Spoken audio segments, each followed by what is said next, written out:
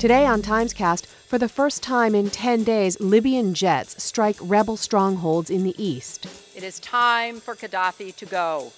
Now, without further violence or delay. The international community pressures Colonel Qaddafi to step down. Have fracture here. And anti government residents of Benghazi show the cost of speaking out.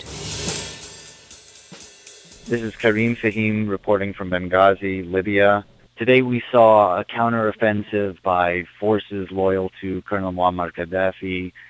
There were airstrikes in eastern Libya for the first time in more than 10 days. Military commanders in the rebel-held eastern part of the country said that two fighter planes flew over bombing an ammunition depot and some sort of a pipeline. The counteroffensive on three fronts by the government uh, seems to indicate that Colonel Qaddafi still holds key military assets and is unwilling to yield power anytime soon. Secretary of State Hillary Clinton today delivered the administration's most blunt warning to Muammar Qaddafi. The discussions that I had today uh, focused on how we can keep the pressure on the Qaddafi regime without harming the Libyan people. This came as the United States announced uh, $10 million in USAID funding for a relief effort on Libya's borders with both Tunisia and Egypt, where hundreds of thousands of refugees are streaming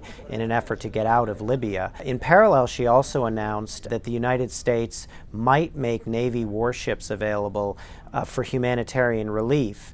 And this uh, raises a lot of interesting questions about whether the U.S. is poised to engage in some uh, wider military intervention in the situation. They, they want to get a good outcome here without appearing to be dictating events. And the minute you talk about using uh, the U.S. military or Navy warships, that's a level of U.S. involvement that goes well beyond what you've seen in any of the other countries in the region. Remember, in Egypt, even at the worst times, we were talking about uh, a, a, few hundred people being killed in clashes. In Libya, you're really faced with a virtual civil war in the country. I think you'll see the United States be very careful to couch anything it does within the context of an international effort. The focus here is mostly on assistance that would uh, head off a humanitarian disaster as opposed to offering them arms or ammunition. And in Benghazi, speaking out against Colonel Qaddafi comes at a cost. David Bati has this report. All my body is like this. They were using the machine guns and hitting everywhere here. I can show you all my body. I have fracture here, skull fracture.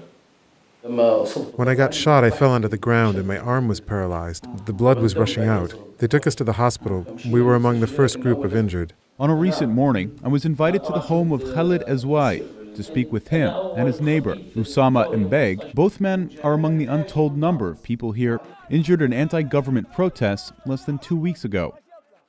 Khalid, an accountant, was shot on this street, which, like most of the city, is creeping back to normal. A bullet entered Khalid's arm and exited his armpit as he tried to rescue an injured man and drag him out of the way. I was really happy until the day I got hurt. Then I started thinking of all the days that I wouldn't be able to be out there with them. Osama, a cardiologist, was captured by security forces, beaten, and accused of being a foreign troublemaker. And he said, Are you Libyan? I told him, Yeah, I'm Libyan. As many people believe in Benghazi, Osama says Qaddafi will fall, and soon, even while the leader remains in power.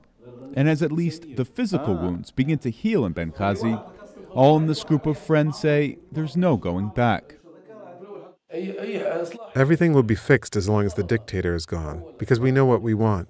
He won't be able to get in our way. People are not asleep. They know what's going on, and they know what they want. Join us again tomorrow for Timescast.